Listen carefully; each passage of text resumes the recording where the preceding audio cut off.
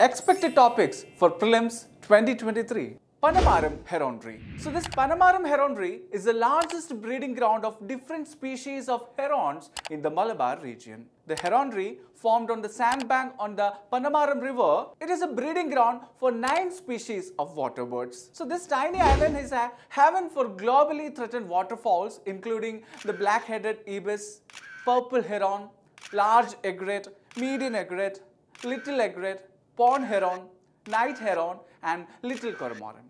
So this site is also the only location in the state where the cattle egret breeds. Panamaram River.